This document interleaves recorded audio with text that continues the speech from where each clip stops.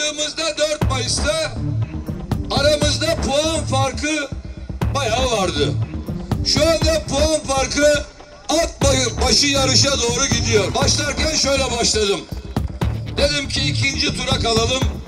İkinci turda hesaplaşırız. Seçileceğim için de CHP'ye genel başkan olmam gibi bir ihtiyaç da olmayacak. Seçileceğime inanıyorum ben. Yüzde e, 29, 30, 32 bandında bir e, rakam e, telaffuz ediliyor. E, değişik anketlerde, değişik şekillerde ifade ediliyor. Biz daha yüksek olmasını isteriz. Hayır gelmedi çünkü Sayın Genel Başkan da ben de birinci turda seçileceğimize inanıyoruz.